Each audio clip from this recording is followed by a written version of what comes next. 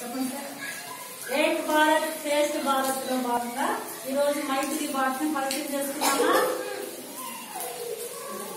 Namaskar. Hello. అక్షయ నామ్